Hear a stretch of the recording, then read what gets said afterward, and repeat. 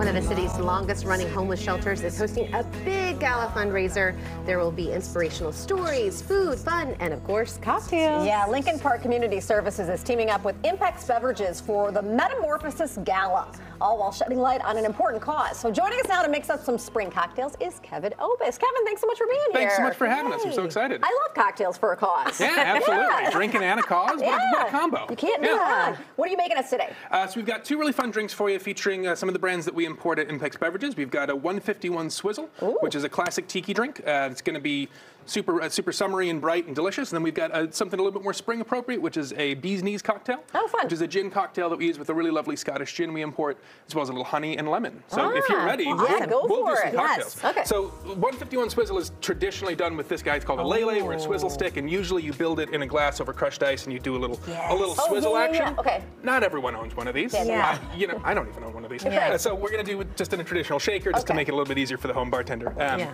So we're gonna start with Lemon Hart 151. So this is a really lovely Guyanese rum that we import, and we're gonna do two of these in uh, two of these in one, so you can each have a full cocktail. Okay, I'm not gonna make you share. Don't worry. Oh, yes, Um, yeah. We don't share next time. So, so Lemon Hart is the original 151. It's been around for since 1804, so going on 200 years. Mm-hmm. Um, we're going to start with an ounce and a half of that, and there's a little dash of absinthe. We're using uh, Lefty absinthe here, just for a little, little combo with your, your French friend you had on earlier. And then we're going to do just a little bit of simple syrup, which, if, if you've never made simple syrup before, is just equal parts sugar and water until it dissolves. Okay. And then we're going to do some lime juice. And how would you, what would you describe the uh, flavor profile? What are the tasting notes for this cocktail? Yeah, absolutely. So Lemon Hart itself has some really lovely. It's a barrel-aged uh, rum, so it's got some really lovely steeped tea and tobacco, and but also some sort of like tropical and natural sweet notes to it. And then we're pairing it with some nice bright lime juice, and the absinthe adds just a little bit of sort of a little anisey backbone. Okay, Yeah, beautiful. and it's just a really lovely. It's a really super traditional um, uh, tiki drink. So Okay, a lot, great. lot of fun for the summertime. And then of course we're going to shake over plenty of ice.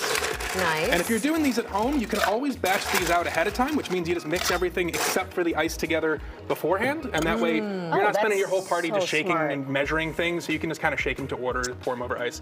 This is 151 proof, so you definitely want to Yeah. give it a pretty solid shake. Feel free to shake right now, but I Yeah. was wondering, the 151, that has a meaning, right? Right. Yeah, so it's 151 proof, which means it's 55.5% alcohol, 54.5% alcohol. Oh, okay. Um, I don't do math. strong is what it is. Um, Yeah, don't worry, Amy and I can handle it.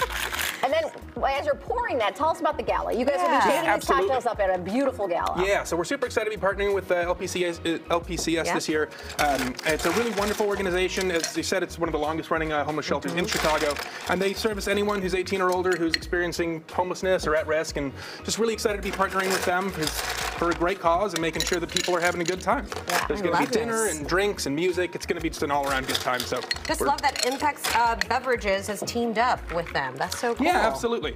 And it's just a, it's, it's a great organization. We're super happy to be part of it. So That's a pretty color. I don't know why I was not expecting it to be that Yeah, well, color. the lemon hart's barrel aged, so it's got some really lovely dark dark color from it from the barrel, and then with the citrus brightens it up just a little Yeah. bit. These are a little tall, so it looks like I'm pouring you short, but I promise No, you're we be trust just you. Yeah. Is there a little bit of a garnish? Yeah, so we're gonna garnish it with some Angostura bitters, which also flavors it as well. But we're gonna put that Nice. right on top, just for a little bitter touch on the top. We're gonna do a pretty generous amount of Oh, Angostura, about five shakes of that. Hey, it's good for digestion. That's right, is. absolutely, Yeah. and It's it's, medicinal. delicious. Yeah, Yeah, it's this is medicinal. health it's helpful. Yeah, and then we're gonna do a big old sprig of mint on top, and the Do you idea. have to uh, Spank spank your mint. Oh. You're right. We should, Yeah. we should, we should it fix it up real good. And the idea of having a big old sprig of mint on top isn't just that it's pretty, but then as you're drinking it, you kind of get a nose full of mint. Oh, Uh, So it kind of brings in a nice little herbal note to it as well. from here. It smells really good. Yeah, Mm. absolutely. The aroma and you is do need to spank your mint, but you don't need to beat it up so bad. Okay, You know, it's, yes. it's, Just it a gentle. yeah, it's all right. Yeah, just a gentle. Just a one. gentle slap. Yes, there you go. And then the last thing we're going to do is we're going to garnish it with just a little bit of fresh nutmeg, which is a really classic thing to do in a tiki cocktail. My goodness, so this if you have touches on this cocktail. It's a del- and it, you can you can zhuzh it up as much as you want. You know, we've got it in a lovely tiki mug over here. If you have tiki mugs at home, if you don't, it's totally fine. Okay. All right. Wonderful. But yeah, a little nutmeg just adds a nice little That's nutmeg fun. note.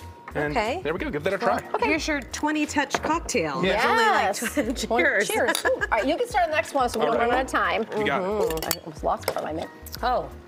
Delicious. Lovely. Oh. It's very good. Ooh, that's Yep, dangerous. That's yep, good. yep. There's a lot of tones. It's, it's bright because of the citrus, but then there's earthy You can tones. take spices to it too. Yes, that is absolutely. good. All so right, glad you enjoy it. And now you're making a bee's This is the bee's knees. So this is such a good springtime cocktail. It's got honey, it's got lemon, it's got gin, which is really bright and delicious. This gin we're using is from uh, just outside of Edinburgh at the Secret Garden Distillery. Uh, and they actually grow all of their own botanicals, so it, it's a really cool organization. It's female owned, it's uh, independently owned. It's such a great, great gin. We love it so much. Um, and the gin we're using is a lemon verbena gin, so it has a lot of lemon Ah. verbena in it, which pairs really Nice. wonderfully with this lemon juice and honey. Uh-huh. And the honey, we're doing a honey syrup, which is just equal parts honey and water, uh, just to make it a little thinned out. Oh, beautiful. And then similarly, we're just going to give it a solid shake. Mm-hmm. that's fun. I like that you have the metal straws too. Yeah, you got to Yeah. keep, you know, keep it sustainable. Sustainable, right? And um, we do need to mention that LPCS has uh, two locations, right, as well. So, So we'll be, uh, we'll be in, at the, gala is actually going to be uh, close to the um, Lake, Lakeside location, but it's going to Okay. be, they do have two locations to service people throughout Chicago. I love that. And I So take it tickets still are available. Absolutely, yeah. Okay, we're gonna get all the information for the tickets and the event on the screen here in just a second. So, Absolutely. but you know, if you go, you get to try the cocktails. Why That's did I not expect this uh, spirit to be from Edinburgh? I don't know why. Well, I guess you know people don't think of gin as a, a Scottish thing all the time. People Yeah. think of London dry gin a lot. Right. We Oh, certainly make some great gins that's here in. America as well.